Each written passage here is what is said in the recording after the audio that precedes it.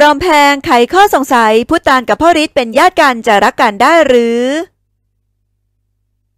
พรหมลิขิต EP 9 ความจริงเริ่มกระจ่าง คุณหญิงกระเกตได้มีโอกาสนั่งคุยกับผู้ตาน พร้อมได้รู้ถึงความจริงว่า แท้จริงแล้วคุณหญิงกระเกตและผู้ตานเป็นน้าหลานกัน ซึ่งอันนี้แฟนละครจึงเกิดความสงสัยว่าผู้ตานพ่อฤทธิ์จะรักกันได้จริงหรือ รอมแพงไขข้อสงสัย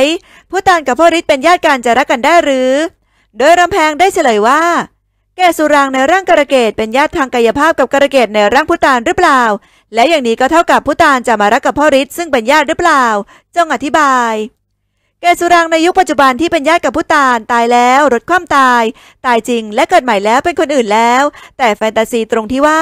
คุณหญิงนางจำอดีตชาติของนางได้ และนางย้อนอดีตมาเกิดในร่างของกระเกตส่วนพุตานที่เป็นญาติทางห่างของแก่สุราง ก็ย้อนมาทั้งตัว ดังนั้นร่างของกระเกตกับร่างพุตานจึงไม่ได้เป็นญาติกันโดยสายเลือด คุณหญิงกระเกตแค่นับญาติกันทางจิตวิญญาณ เพราะคุณหญิงท่านจำอดีตได้